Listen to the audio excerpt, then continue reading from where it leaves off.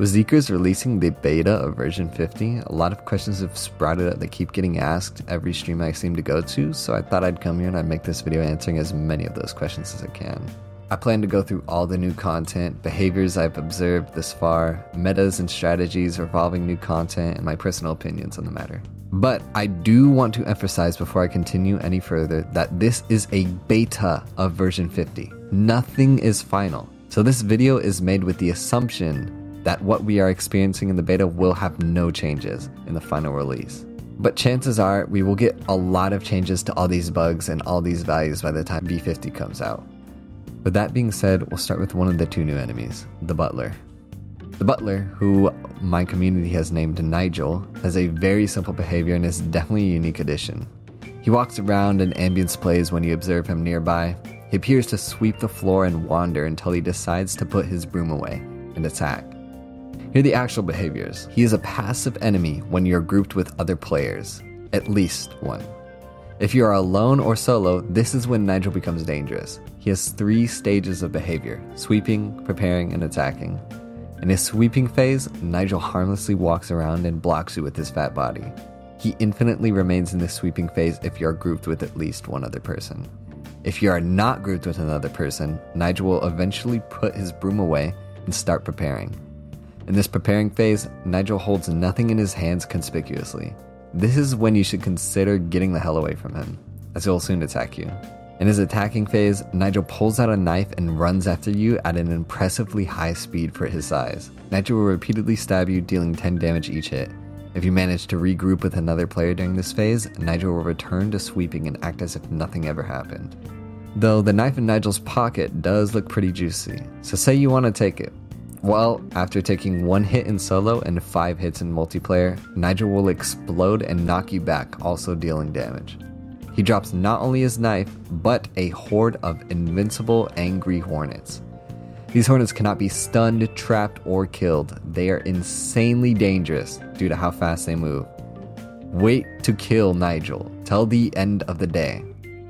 It should be noted that as of right now, Nigel will attack you back if he's provoked in a group, but he will not chase you down. This is probably a bug, but you can use this to kill Nigel without being stabbed by simply backing up after hitting him, as long as you have another player next to you.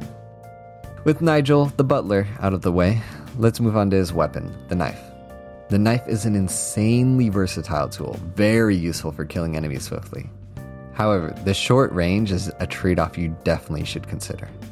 The knife animation has no cooldown, so you can left click as fast as you want and it will hit the knife every time you left click, but the damage that you deal does have a cooldown. The exact DPS is something like 1 damage per 0.4 seconds, but don't quote me on that. I'll display some further uses of this knife in a moment, such as on giants. Giants are now killable. They take 24 hits of a shovel to keel over and die, but their behavior has not been adjusted at all. Shotguns seem to be ineffective, which is definitely a bug, um, as the same thing happens to dogs. And despite taking so many hits, the giants can be killed solo just by using the knife. If you grab yourself a few stun grenades and your best clicking skills, you can do this.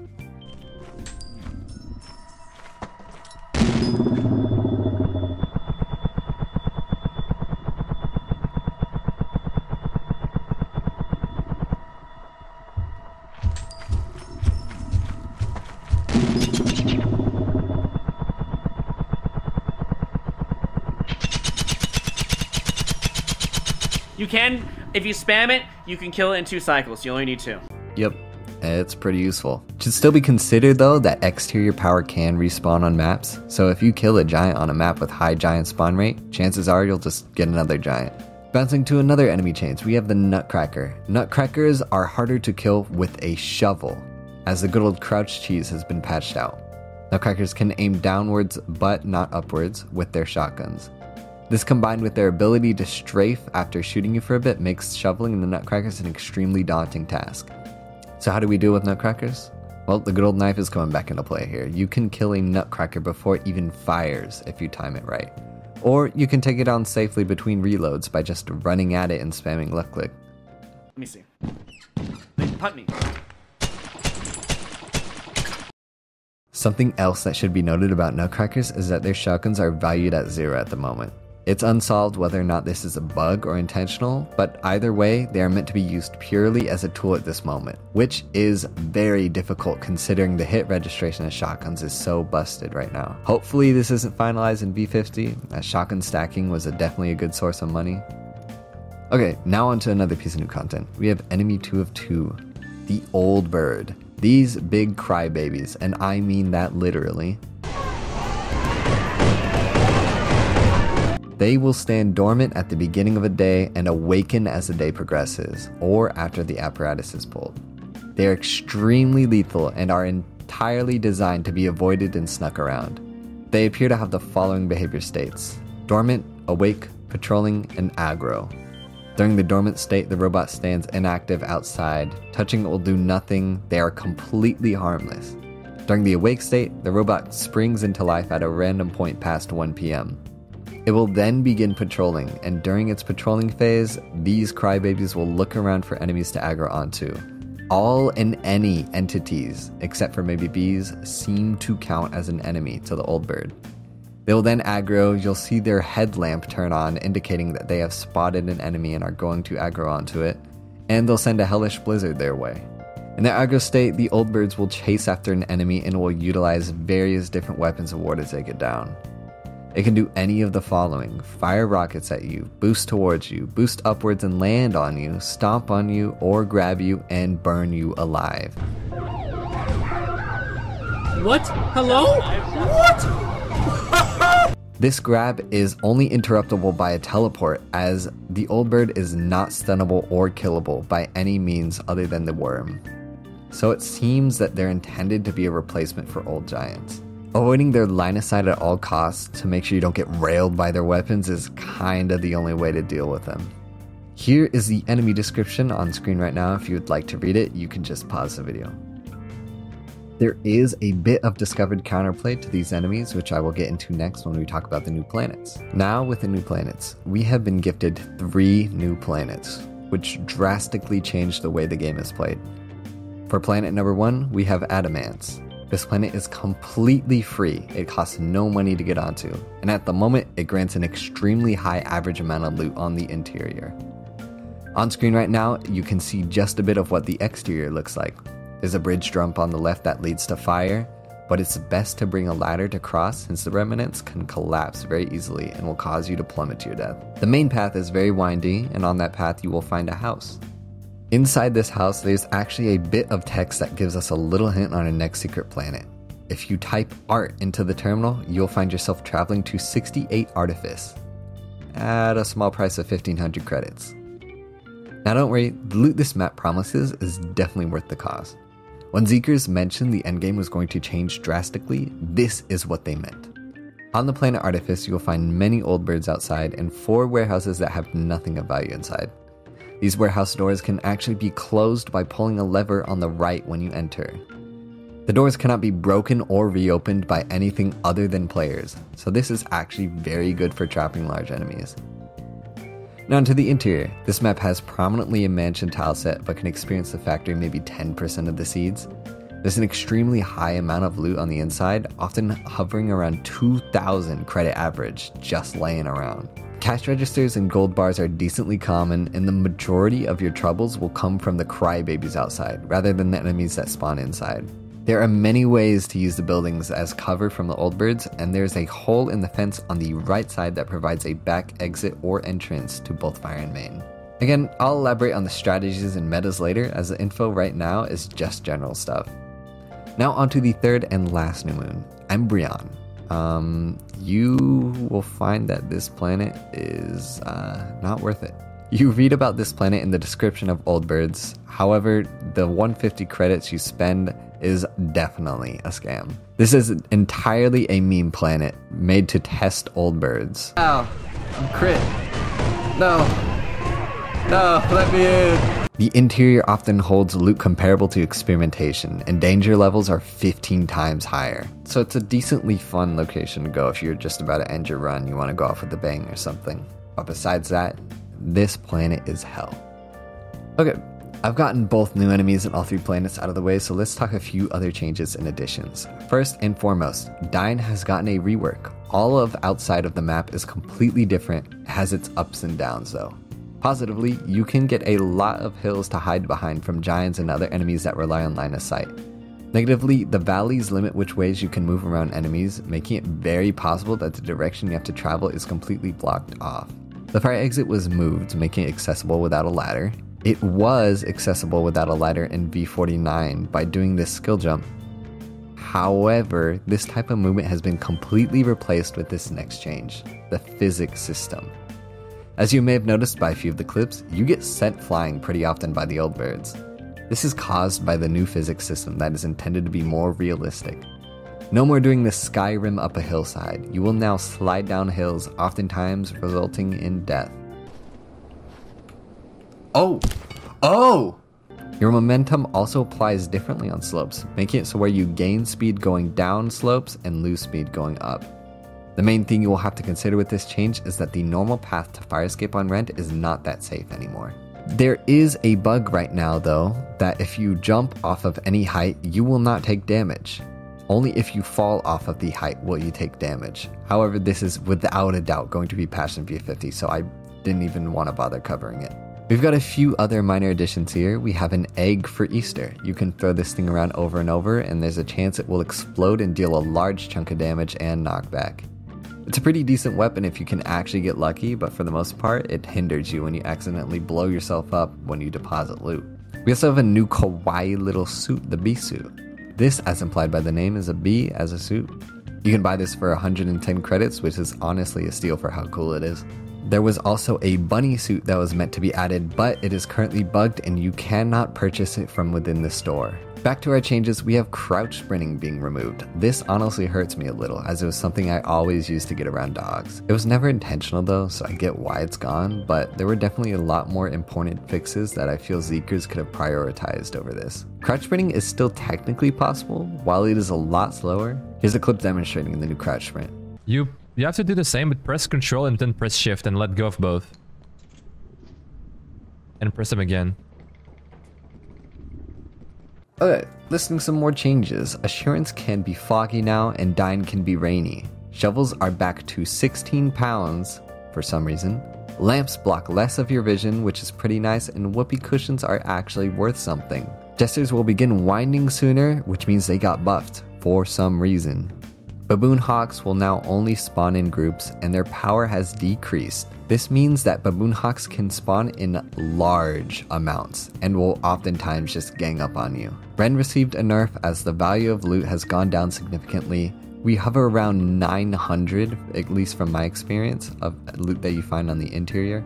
Titan has received no buffs, meaning that this is definitely not a patch for running quota 10 or quota 6 speedrunners. Though there is a bug right now, it appears that a lot of the interiors are smaller than they are intended to be.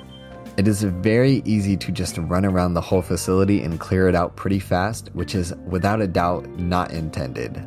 Now, here are a few problematic things that remain in the game that personally I feel should have been prioritized over some of these changes. Number one, we have the jetpack damage buffer.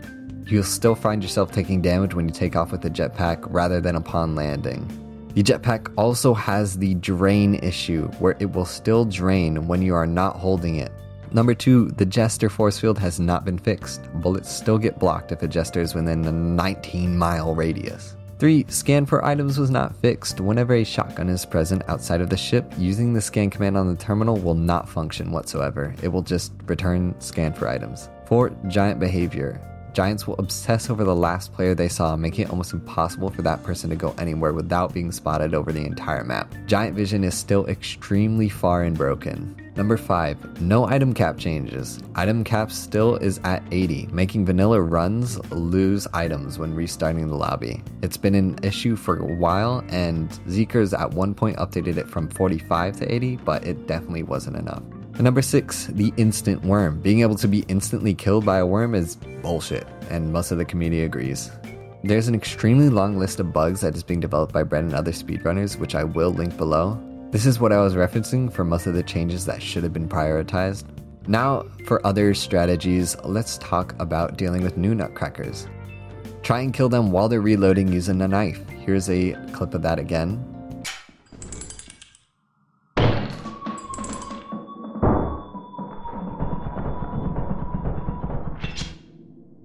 For dealing with new giants, you can either cheese them like this, A lot of hits. Yeah.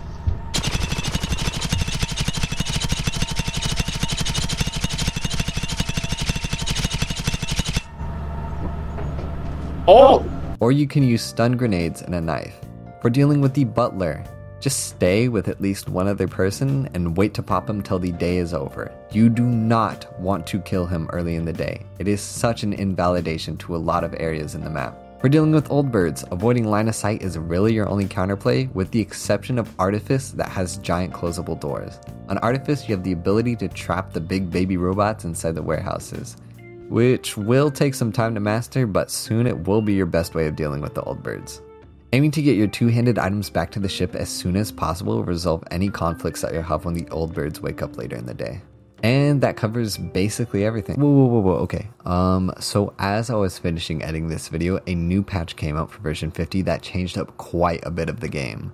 First off, Adamance is no longer extremely overpowered. It will now grant an average of under 1,000 credits per day making it not worth for the amount of danger the map poses. Secondly, the Jester force field has been fixed completely. No more getting your bullets blocked from the other room over just because the Jester is whining. This is an insanely huge change, but it also doesn't excuse the buff to the Jester either way. For the third noticeable change, we have shotguns. Shotguns actually have value now. Not only that, but the ammo is worth something as well. Shotguns will always drop as a solid 45 credits from a Nutcracker, and the ammo will sell for 30 per shot. This means that every time you kill a Nutcracker, you're essentially gaining 105 credits. This is absolutely insane, as Rend is easily back in the meta. Rend, having the highest spawn rates for Nutcrackers, will no longer have such low averages, as the Nutcrackers will carry the daily up amount by a long shot. By the way, a buckshot that is carried inside of the shotgun when it's sold will not increase the value of the gun. If you reload your gun before selling it, you are essentially wasting 30 credits. Avoid reloading your guns as much as possible and work with partially loaded weapons if you have to. Another patch is that the bunny suit actually works. You can buy this for 200 credits, and although I don't have any footage of it, it looks sick, trust me. Zeekerss also added a disco ball to the shop, the disco ball will activate whenever the lights are turned off by any means. It plays music that will attract the dogs. This means that if your ship gets struck by lightning, you can say goodbye to silence.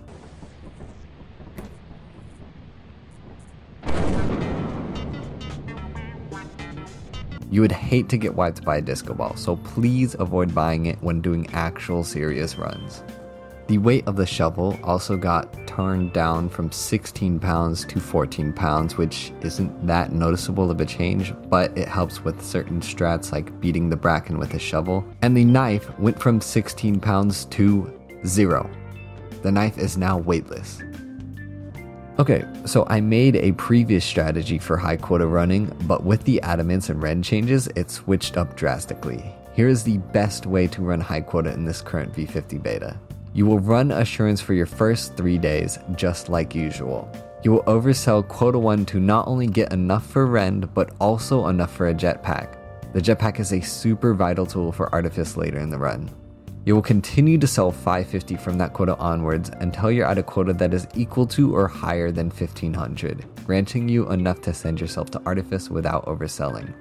By then, you will have two or more jetpacks, depending on sales, and a bunch of gear that will help you actually get the high amounts of loot out of Artifice. Essentially, quota 1 is Assurance, quota 2 to 7 is Rend, and quota 8 onwards will be Artifice.